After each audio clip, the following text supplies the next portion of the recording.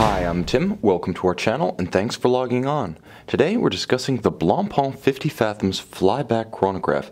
You can see this full bracelet borne diving chronograph from Blancpain on our website. Subscribe to our YouTube channel if you enjoy these videos and please click on the card in the upper right hand corner of the screen at any time during this video to see our full listing for this timepiece with additional accessories included in the sale, high resolution images, and naturally complete pricing details for this Blancpain flyback chronograph. Now on my wrist, 6 and 3 inches, 16 centimeters in circumference, you'll immediately note two features of this watch. First, it's the 45 millimeter case that we've known since 2007. This watch is the 5085 reference, so with chronograph. And the second feature you'll note is the presence of Blancpain's legendary X71 bracelet, which changes both the look of the watch on the wrist compared to the strap and the feel of the watch on the wrist compared to the strap.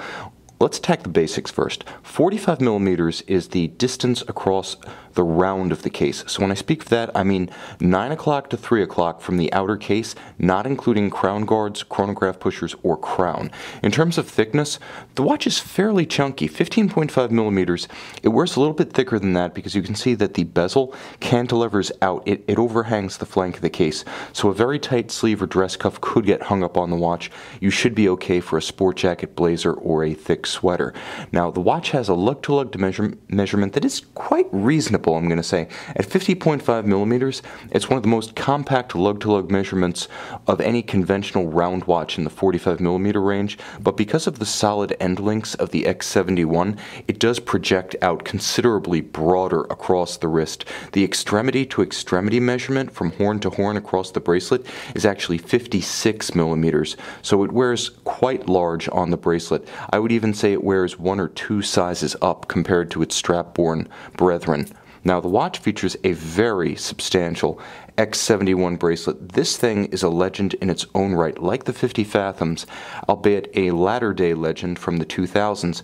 The X71 is built as well as anything from the likes of Audemars Piguet or Patek Philippe. You'll note the intermediate links perfectly interlocking with the primary links. The beauty of the alternately brushed and polished segments. You can see how marginal the clearance between the bracelet links is, and yet completely flexible and silken on the wrist. On the underside, it's exactly the opposite. There are broad channels between the individual links, so it'll never pinch skin or pull hair. Now, this clever interlocking design means that you can barely even see daylight through the bracelet. So tightly assembled is it, and yet it has exquisite flexibility. It feels as good as it looks. Like Richard Mille, you see there's a leaf spring built into the double deployant clasp, beautifully skeletonized. You can see the sort of filigree style with the Blancpain logos or founders logos, I should say, in each individual swing arm. And again, because of that leaf spring built into the clasp body, it snaps itself shut with alacrity.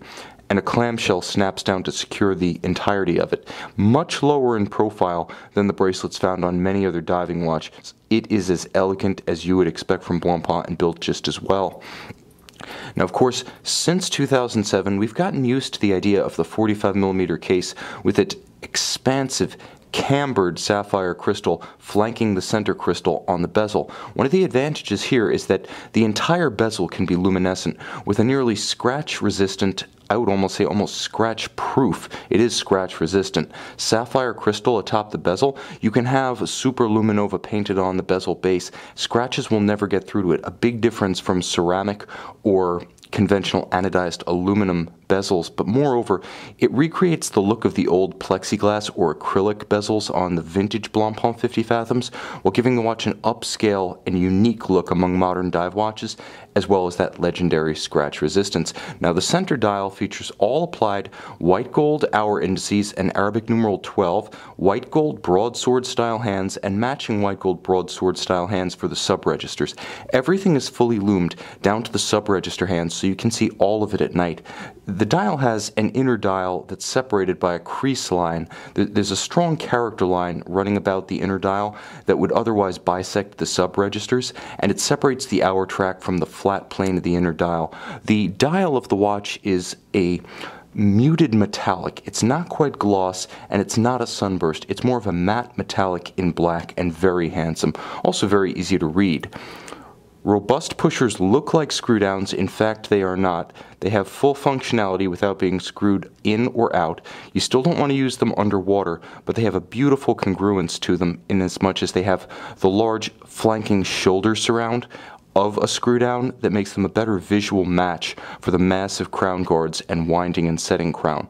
Now the watch features what Blancpain calls its F185 caliber. F185 is a Frederic Piguet 1185 flyback. So essentially, if you know the fine column wheel, vertical clutch, automatic winding Frederic Piguet chronograph family, this watch features that 40 hour power reserve, a 21,600 vibration per hour beat rate. You'll note the case back advertising anti magnetism. Perhaps I could show that to better effect in the light. And indeed, it does have anti-magnetic qualities, as the interior of the watch features an encircling soft iron cage for the movement to protect it from strong magnetic flux densities. And of course, the Piguet is very thin, very fine, a true high horology chronograph movement. It was the first modern chronograph movement created post-quartz crisis during the mid-1980s. With the column wheel, its function selection is crisp, and with the vertical clutch, You'll note that the chronograph seconds hand starts without jump, stops without stagger, always resets precisely to the index at 12, and if you want to just run the chronograph continuously, there is no hazard to the movement. The vertical clutch creates no essential wear or tear. You will run down your power reserve a little more quickly, but wearing this watch on a daily basis, it'll never run down. And of course, you have flyback functionality to reset and restart the chronograph with a single push of the trigger at 4 o'clock. Finally, the watch has 300 meter water resistance, so while it's a little bit more advanced in terms of movement architecture and capability than the standard 50 Fathoms 5015 reference, this one gives up nothing in capability. You can see and you can purchase this Blancpain 50 Fathoms flyback chronograph on our website.